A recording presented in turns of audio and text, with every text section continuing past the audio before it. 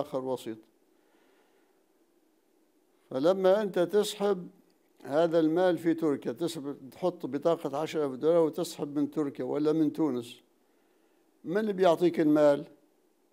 هاي بيعطيك المال البنك الليبي هاي بيعطيك المال البنك المراسل اللي عندنا إحنا فلوسنا فيه ورصيدنا فيه.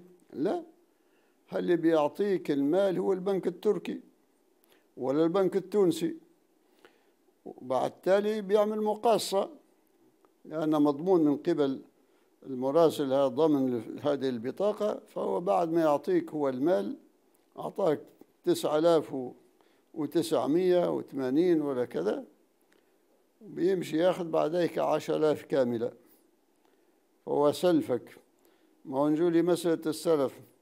مرات يقول الناس هذا مش سلف. يقول لك السلف مش شرط هو أن اللي بتعطيه فلوس تقول له سلفتك لا هذا مش شرط. كل من يعطيك مال وتستهلكه وبعدين بيطلب منك ترده له كلها سلف. سواء سميت أنت سلف ولا ما سميتهاش. هو أعطاك مال أعطاك 9900 دولار وبعدين بيأخذهم. من مالك أنت اللي مودع في البنك المراسل ولا في غيره. بياخذها قداش؟ بيأخذوه 10000 الفرق هذا بين العشرة وبين اللي أعطوه لك أنت. من بياخذه؟ بيتقاسموا فيما بينهم. جزء منا تاخذ هذه المؤسسة المالية الراعية للبطاقة وجزء بياخذها البنك التركي وجزء بياخذها البنك الوسيط وجزء بياخذها البنك الليبي هنا. إذا هم في الواقع أنت أعطيتهم بطاقة فيها عشرة تساوي عشرة ألاف وأعطوك أقل منها. أعطيت تسعة سلفوك تسعة آلاف وخذوا منك ألف. هذا قرض بفائدة حرام لا يجوز. ما الذي ألجأنا إليه؟ نستطيع أن نتجنبه.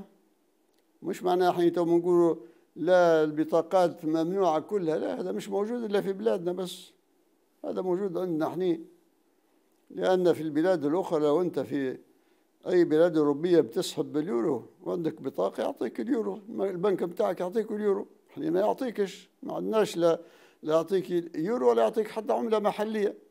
حتى السيولة المحلية مش موجودة. فهذه الأزمات مفتعلة في ليبيا داخل داخل ليبيا. لا حقيقة لها في واقع الأمر. يمكن التغلب عليه يمكن ألا تكون موجودة أصلا. مش يقول لا تو يقول لك لا المشايخ يمنوا علينا في البطاقات. إحنا مش نمنعوا في البطاقات.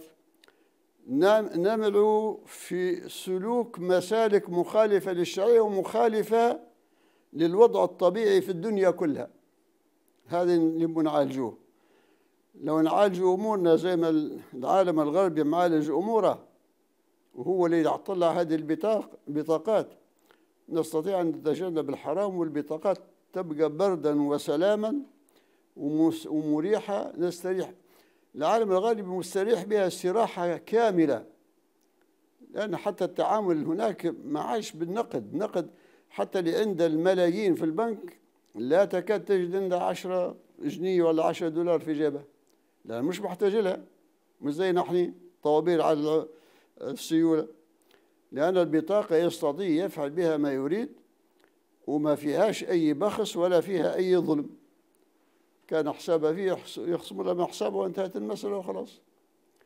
لكن الحين لا يقول لك لابد تمشي تأخذهم من برا ولابد تأخذهم بأقل من قيمتهم. السؤال يقول لما يمشي برا ويأخذهم أقل من قيمتهم تقولوا جائز يجوز البنك يأخذ منه.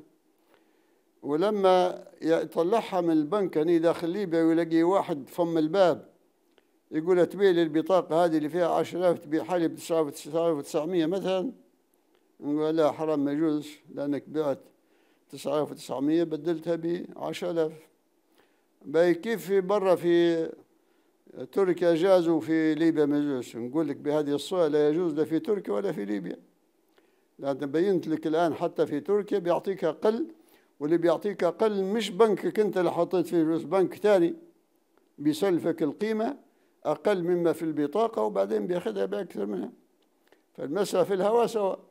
سواء بعتها هنا ولا بعتها برا هو هو. لكن هذا الناس لا يعرفونه. ليش؟ لأن ما عندناش شفافية.